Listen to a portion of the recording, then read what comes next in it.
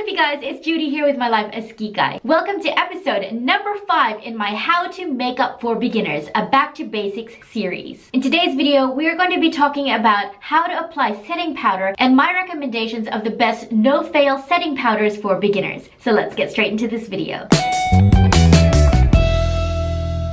On this channel, I create videos on product reviews, makeup tutorials, and lifestyle advice with the aim to entertain, educate, and enrich the lives of others. So if you're new here, please consider subscribing. I'd love for you to join the Kikay family, and if you're returning here to my channel, then welcome back. This is episode number 5 in my How to Makeup for Beginners, a Back to Basics series. Last week, we talked about how to apply concealer slash highlight and cream contour. Now, that brings us to step number 5 in our makeup application, which is applying setting powder. The reason why we do this after applying all our cream products is so that they don't crease and settle into our fine lines. Applying a setting powder after applying our cream products will also ensure that our makeup will last a whole lot longer throughout the day and look a lot more smooth and flawless as well. So a lot of you may or may not be asking, why do we need setting powder? While the reasons for applying setting powder are extensive, the main reason is that applying powder atop your liquid or cream foundation is to help set it so that it won't migrate into any lines or slide off your face throughout the day. Depending on the type of powder you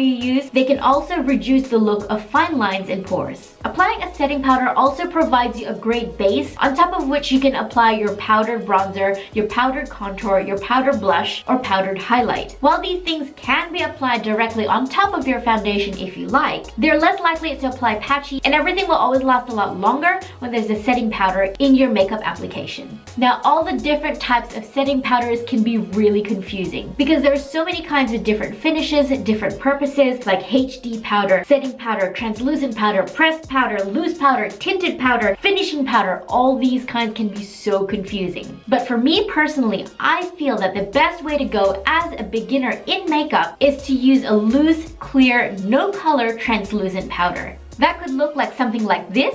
This is the RCMA translucent no color powder or this.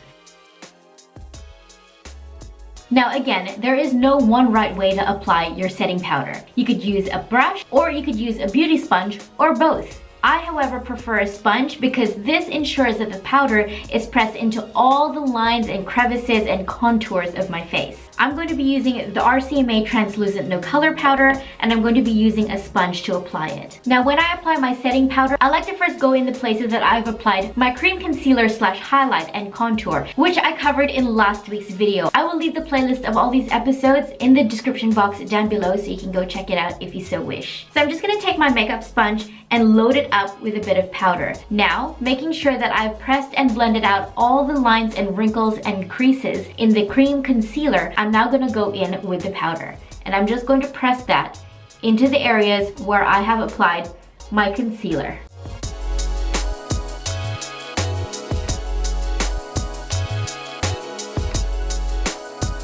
Now, you could do the technique called baking, which is once you've applied it, you can leave it on there and that will help ensure your makeup will last even longer and give your face an even more airbrushed look. But it's not necessary in a makeup application. For me, on an everyday basis, I just like to go in with a powder like this and then continue to blend it out with the sponge until that powder is pressed in into all the lines and crevices of my face and making sure that all the cream products that I have applied on underneath have been well and truly set. Next, I'm going to load up my sponge again and then go into the areas where I've applied my cream contour.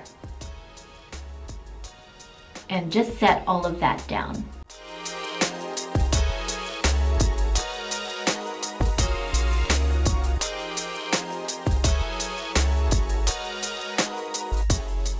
And that is how you apply setting powder.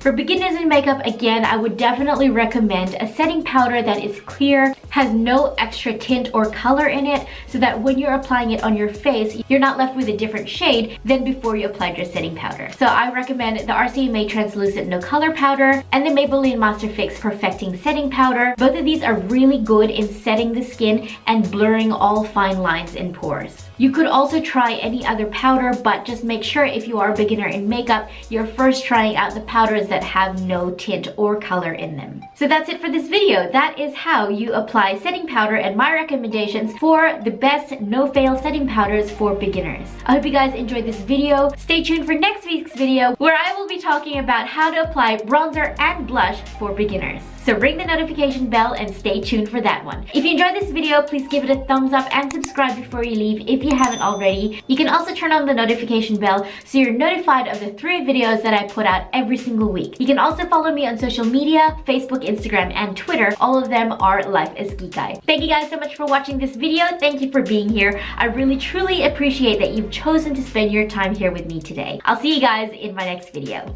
Bye!